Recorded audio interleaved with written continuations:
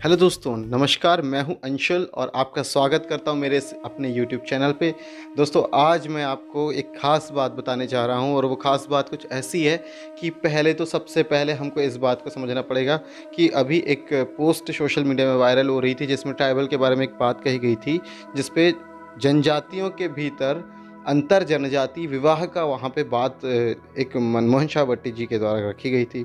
उस पर काफ़ी सारे लोग अपने आके व्यूज़ दे रहे थे। बट कहीं ना कहीं उसमें एक एक सर्कमस्टेंसेस है कहीं ना कहीं एक क्यूरियोसिटी है जो हमको समझनी चाहिए कि उसमें क्या वजह है। फ़र्स्ट ऑफ़ ऑल हम जो ट्राइब्स हैं, हम ट्राइब्स हैं गोंदोला पे सर्वाइव करने वाले लोग हैं। हमारे कस्टम ट्रेडिशन की अगर हम बात करते हैं तो गोंदोला हमारा कस्टम ट्रेडिशन था। अब गोंदोला के कस्टम ट्रेडिशन पे यहाँ पे कुछ बातें समझना होगा पहली चीज़ कि तैंतीस कोटम तैंतीस कोटम हम लोग मानते थे, तैंतीस कोटम कौन से हैं? ये कुटुम्ब हैं। कुटुम्ब क्या हैं? उनको समझिए। भोई तुर, पड़ाल कोई तुर, मुंडाल कोई तुर, संथाल कोई तुर, हो कोईतुर बिलाल कोईतुर इस तरीके से बैगाल कोईतुर और भी हैं। तो ये कोईतुर हैं जो, जिनको ट्राइब्स कहते हैं हम लोग। ये मेजोरिटी ट्राइब्स हैं, जो बड़े ट्राइब्स हैं, उनको हम कोईतुर कहते हैं। ये गोंदोला हमारे उसमें, जो तैंतीस कोटम जो हमारे कुटुम्ब हैं। और उसके बाद फिर नेक्स्ट थिंग आती है क्या? टोटम आते हैं। तो टोटम तो 750 टोटम है, आपको पता होगा कि जो सरनेम को हम लोग टोटम कहते हैं। और वो टोटम, और कोटम के टोटम, यानी कि पहला हो गया हमारा कोटम, दूसरा हो गया हमारा टोटम। टोटम के बाद फिर आता हमारा क्या गोंदोला में? जो नेक्स्ट थिंग आती, गढ़ गोत्र बाना। गढ़ गोत्र बाना मतलब कि किस गढ़ के हो? तुम्हारा गोत्र क्या है? और उसमें जो तुम्हारा बाना है, तुम कौन सा धारण करते? तो ये सारी चीज़ें वहाँ पे डिस्क्राइब है। तो इन सब चीज़ों को समझने के लिए तो इन सब में जाने के लिए एक डेप्थ टूर हमको ज़रूरी है। उस डेप्थ टूर को हम ज़रूर बताएँगे। और उससे पहले मैं आप लोगों से जानना चाहता हूँ कि पहले तो आप मुझे कमेंट करके बताइएगा सेक्शन पर कि आप कोटम के बारे में पहले जानना चाहते हैं या फिर टोटम के बारे में या फिर आप गढ़गोत्र बाना के बारे में जानना चाहते हैं तो ये सब आप पहले तय कर लीजिएगा। मगर उससे पहले मैं आपको अंतर जनजातीय विवाह की बात कह रहा हूँ। ये गोंडवाना लैंड है, और गोंडवाना लैंड के सारे मूल निवासी किस भूभाग के मूल निवासी कहलाएँगे? गोंडवाना के मूल निवासी। गोंडवाना लैंड के मूल निवासी गोंदोला के मूल निवासी। जो गोंदोला के मूल निवासी, वो सारे ट्राइब्स ही हैं। तो जो मैक्सिमम एंशियन ट्राइब्स है, जो नेटिव ट्राइब्स हैं, वो गोंदोला के अंतर्गत रहते हैं। अब जो गोंदोला के अंतर्गत जो ट्राइब्स रहते हैं तो अब उसमें एक सिनेरियो आता है, क्या कि हम जो गोंदोला के अंदर जो ट्राइब्स रहते हैं तो हम सारे ट्राइब की, जो गोंडवाना लैंड के सारे ट्राइब्स हैं, उनकी आइडेंटिटी गोंदोला से ही परिभाषित होनी चाहिए। मतलब कि हम सारे के सोरे गोंडवाना के ही नेटिव पीपल्स हैं, गोंडवाना के, गोंदोला के ही पीपल्स हैं। अब ये समझिए, थोड़ा थोड़ा हम पास्ट में जाते हैं। अभी कुछ लोग कह रहे थे कि गोंदोला में विवाह और गोंदोला में किस तरीके से मर्डमिंग होती है। देखिए हम इस बात को जानते हैं कि मनुवाद के प्रभाव से हमारा काफ़ी स्तर तक हमारा जो सिस्टम है, हमारा कस्टम है, जो हमारा ट्रेडिशन है, वो काफ़ी हद तक डाउन हो गया है। मगर हम जैसे जैसे आचार मोती रावन कंगाली जी से मैं जब संपर्क में था तो उनसे जो मेरी बातें हुई थी तो उस समय उन्होंने बताया था कि ट्राइब्स का जो आइडेंटिटी है, उनको हम कई प्रकार से परिभाषित कर सकते हैं। एक उनकी टेरिटोरियल आइडेंटिटी हो गई, एक उनकी सोशल आइडेंटिटी हो गई, एक उनकी कल्चरल आइडेंटिटी हो गई, एक रीजनल आइडेंटिटी हो गई, और एक उनकी वोकल आइडेंटिटी हो गई वर्बल आइडेंटिटी जैसे कहते हैं। हम कि बातचीत में सिर्फ़ पेट नेम जो रख लेते ना, जैसे किसी का नाम चिंटू है, किसी का नाम मिंटू, किसी का नाम पिंटू है तो वो जैसे चिंटू, पिंटू, मिंटू है ना तो वैसे ही हमारा पेट नेम है, आदिवासी हम लोग सभी लोगों को बोल देते हैं। तो ये कोई लीगल जेनरिक नाम नहीं है, ये बस पेट नेम रखा हुआ नाम है। तो ठीक है एक्सेप्टेबल है। तो वो हम लोग कि हम पुकारने के लिए हम सबको आदिवासी कह सकते हैं। तो गोंदोला के आदिवासी हैं, गोंदोला के मूल निवासी हैं तो उनके लिए यहाँ पे बहुत अच्छा सिस्टम जो आता है, वो क्या आता है कि पहले जैसे भोई कोइतुर जैसे हम गोंड के नाम से जानते हैं। दूसरा पड़ाल कोइतुर जैसे प्रधान के नाम से जानते हैं। तीसरा मुंडाल कोइतुर जैसे मुंडा के नाम से, भिलाल कोइतुर भील के नाम से, मुरियाल कोइतुर मुड़िया के नाम से। इस तरीके से बहुत सारे गोंदोला के कोइतुर से। तो अब यहाँ पे मनुवादियों ने क्या किया कि हमारे गोंदोला में जो कोई मिज़ान था तो उसमें एक डिस्टर्बेंस इन्होंने क्रिएट किया। क्या किया?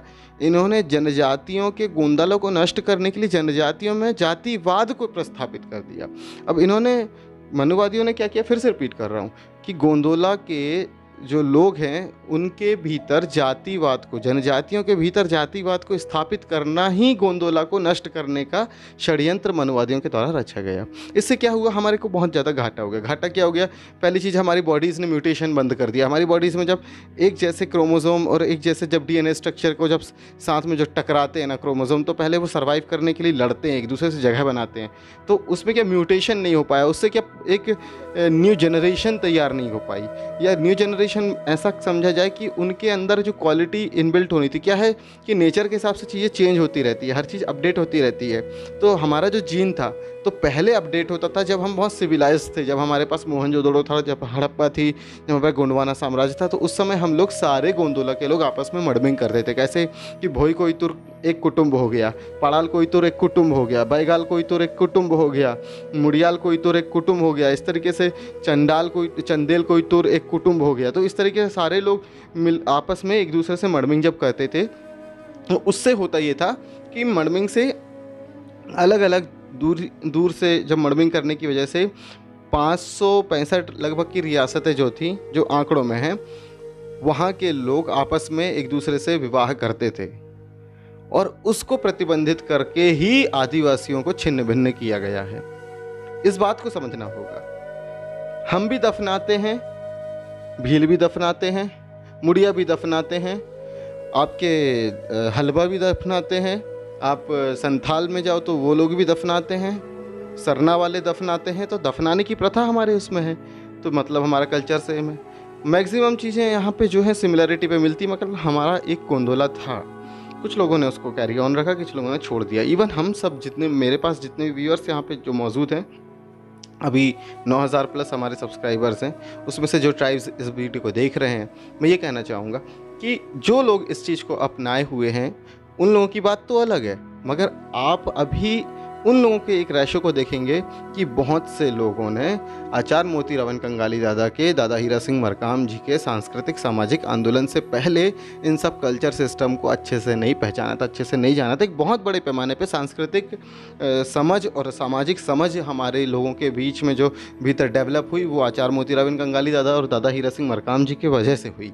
तो अब यहाँ पर क्या बात होती है कि जब ये सारी चीज़ें वहाँ पर डेवलप हो रही थी तो उस समय हमको अपनी सोच को भी डेवलप करना था। हम लोगों ने क्या किया? हमने गोत्र देख के शादियाँ करनी चालू कर दी। इवन कई बार तो ऐसा हुआ कि कुछ लोग हैं जो डिस्प्यूट भी पैदा करते हैं कि मरकाम तीन बस होते हैं छः नहीं होते हैं। अरे भैया, मरकाम तीन भी होते हैं, चार भी होते हैं छः भी होते हैं और आपके बारह भी होते हैं। मगर सबके गढ़गोत्र बाना में, टोटम में, सब चीज़ में थोड़ा थोड़ा फ़र्क रहता है, उनके कोटम में फ़र्क रहता है। इस चीज़ को समझिएगा। तो अब यहाँ पे ये सारे जो डिस्प्यूट जो लोग रेस करते हैं, वो कहीं ना कहीं मुझे ऐसा लगता है, जो गोंदोला के इस गोंडवाना भूभाग के गोंदोला के ट्राइब्स को आपस पे नहीं जुड़ने देना चाहते हैं, वो तो विदेशी मानसिकता से ग्रसित लोग हैं, इसलिए वो हमेशा ये कहते हैं कि एक ही जात को पकड़ के चलो और दुश्मन क्या चाहता है कि साफ़ आप सिर्फ़ एक जात को पकड़ के चलो। तो अभी हमको यहाँ से एक बात को समझना होगा कि मैं आपसे रिक्वेस्ट करता हूँ कि हम कोशिश करें कि हम अपने कुटुंब में शादी ना करें। कुटुंब बोले तो कोटम में। कोशिश करें कि अपने कोटम से दीगर कोटम में शादी करें, तब जाके हमारे जेनेटिक्स पे म्यूटेशन अपडेट होगा। नहीं तो ऐसी मंद बुद्धि के बच्चे पैदा होते रहेंगे आदिवासी समाज में और वो लेबर का काम करते रहेंगे या फिर कहीं मजदूर बन के सड़ते रहेंगे। उनकी बौद्धिक क्षमता का विकास अवरुद्ध होता है। इस वजह से उस चीज़ को समझिए, क्योंकि सबसे पहले एक जो भ्रूण होता है उसका मस्तिष्क का निर्माण होता है। और जब भ्रूण के मस्तिष्क के निर्माण के समय ही अगर संघर्षशील उसका भ्रूण हो गया तो उसका रिज़ल्ट क्या होगा? कि उसकी पूरी एनर्जी उसके ब्रेन को डेवलप करने के स्थान पर पूरी एनर्जी उसके उन क्रोमोज़ोम से या उनके डीएनए स्ट्रक्चर्स में अपनी जगह बनाने के लिए आपस में लड़के ख़राब हो जाएगी। तो प्लीज़ मेरा अगर ये वीडियो अगर आपको लगता है कि ट्राइब्स को आपस में इंटर ट्राइबल कास्ट मैरिज करनी चाहिए और अपने गोंदोला को फिर से इकट्ठा करके गोंडवाना साम्राज्य की पुरानी जो विचारधारा थी कि हम सब प्रकृतिवादी आपस में हिल मिल कर रहे हैं, इसको पुनः स्थापित करना चाहिए तो प्लीज़ दोस्तों, मेरे इस वीडियो को ज़्यादा से ज़्यादा शेयर करें। उन तमाम लोगों तक पहुँचाएँ जो लोग हमको एक कास्ट में एक कास्ट की अलग दुकान खोल के, सजा के बेचना चाहते हैं अपने राजनीतिक सुख के लिए। तो मैं आपसे एक बात और कहूँगा। दोस्तों, अगर यदि हमें गोंड गोंडी गोंडवाना को है बनाना तो याद रखना पानल पारसी पेंठाना क्योंकि पानल पारसी पेंठाना के बिना गोंड गोंडी गोंडवाना बन नहीं पाएगा, बन नहीं सकता। अगर आप राजपाट स्थापित कर दोगे तो पुनेम को कौन आगे बढ़ाएगा? वहाँ पे राजनीति में ही सारे चले जाएँगे तो संस्कृति को कौन बचाएगा? सभ्यता को कौन बचाएगा? इस धरती को कौन बचाएगा? तो दोस्तों, इसी के साथ मैं आपसे विदा लेता हूँ।